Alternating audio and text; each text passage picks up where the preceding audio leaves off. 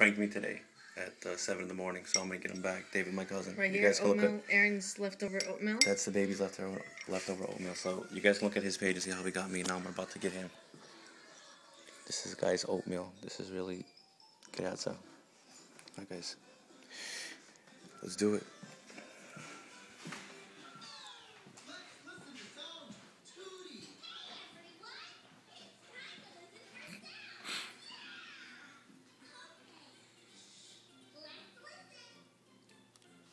In the face! that piece shit out here! Yeah! I'm the master!